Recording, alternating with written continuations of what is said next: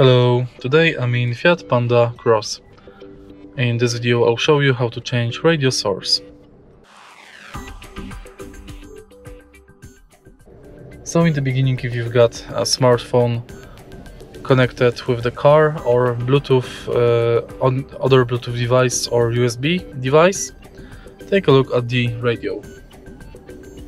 Press media button and here you'll be able to select between Bluetooth, USB or any different device. If you find this video helpful, please leave like, comment and subscribe.